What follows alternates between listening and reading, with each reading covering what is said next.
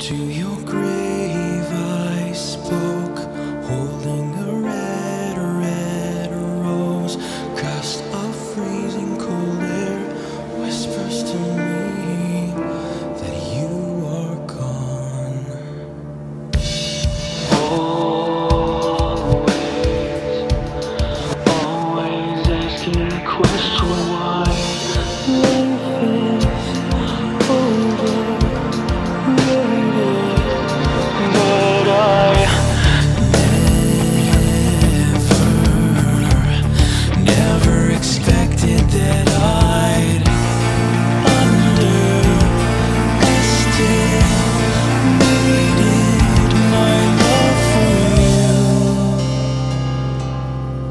to your grave.